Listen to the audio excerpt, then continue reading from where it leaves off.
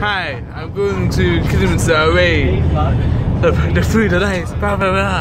Um, hopefully I'll be streaming tonight at half nine or ten o'clock.